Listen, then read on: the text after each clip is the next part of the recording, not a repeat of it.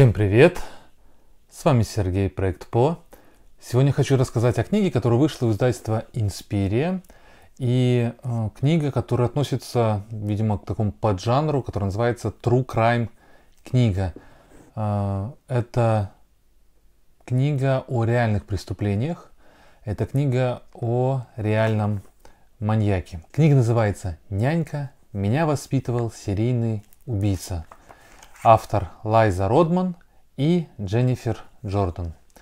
Главный автор Лайза Родман и, собственно, основная идея, которая была заложена в эту книгу, это как раз таки эта девочка, эта женщина, точнее, узнала спустя много лет, что на самом деле она контактировала с печально известным убийцей Тони Костой. И вот э, теперь она решила рассказать, как это все происходило – она изучала очень много литературы, тут очень много, кстати, будет ссылок и на интервью, какие брались, и на всякие судебные заметки, беседы с детективами. Вы посмотрите, 165 источников, можно так сказать, на которые идут ссылки вот по мере чтения. Э, книга произвела сильное на меня впечатление. Во-первых, подача идет э, таким образом.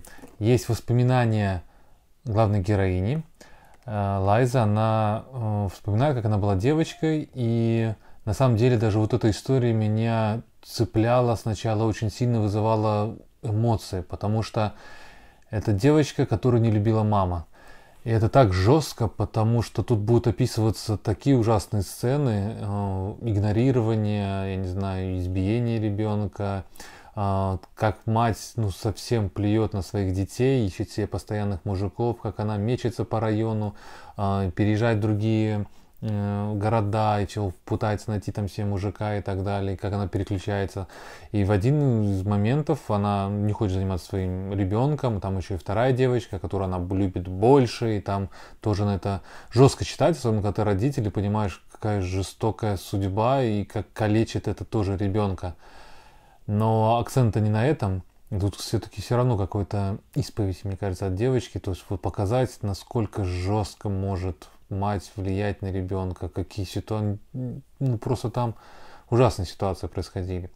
Вплоть до того, что с кем дочку оставить, думала мамаша и случайным людям отдавала. И вот один из этих случайных людей оказался Тони – оказался человек, который делал э, работу там по отелю, по мотелю, что он то там он починит кран, то там что-то еще сделает. Она спокойно доверяла девочек этому мужчине.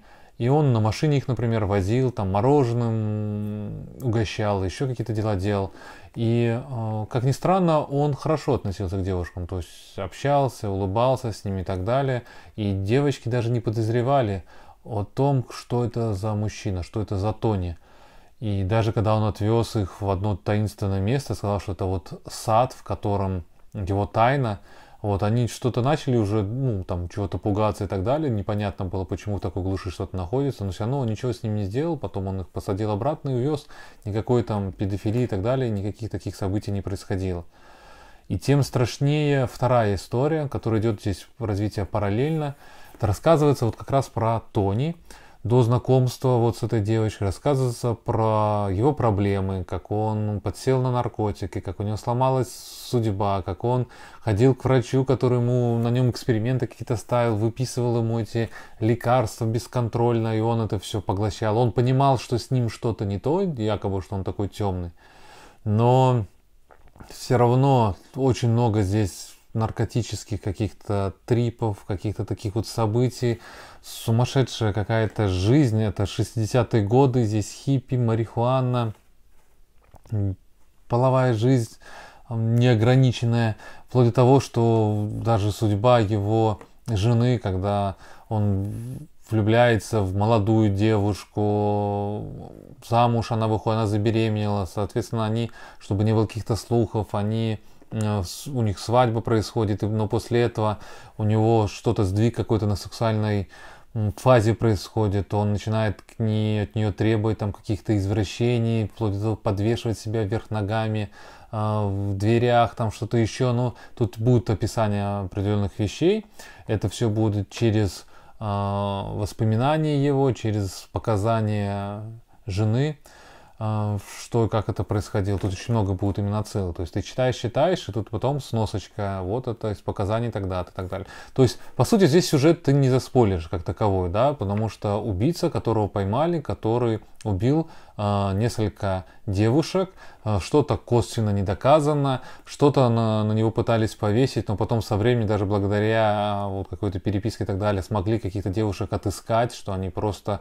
да я так понимаю, там жизнь была какая-то дурдом. Ну, дети уходили из дома, уезжали куда-то, девушки эти молодые маш... на машинах автостопом путешествовали, и там, говорят, тысячи пропавших там было в то время, и здесь вот это время вот этого безудержного какого-то хаоса, наркотиков, свободы какой-то непонятной, таких вот экспериментов, убийств и ужасно.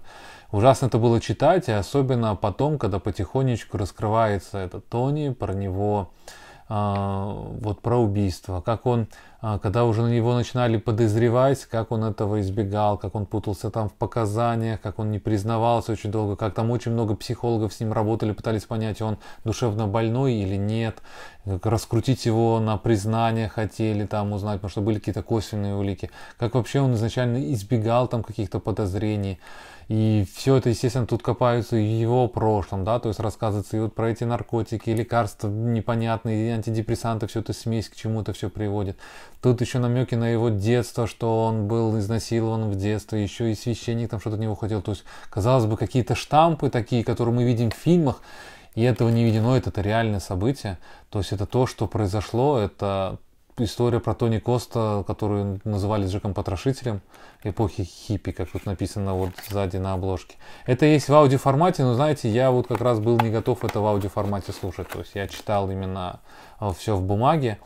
И это реально история, которая ужасает. Знаете, когда читаешь ужасы, когда читаешь, не знаю, фантастики, хо хоррор, ты же понимаешь, что это фантазия автора, что это вымышленно, это где-то какие-то образы, и ты э, все равно мозг до конца не верит этим событиям, особенно если там читаешь, там, не знаю, там, с вампира, со всем остальных, и поэтому у тебя есть какой-то адреналин из-за этого, у тебя как-то будоражит это все, но ты в этом не веришь, этому не сопереживаешь.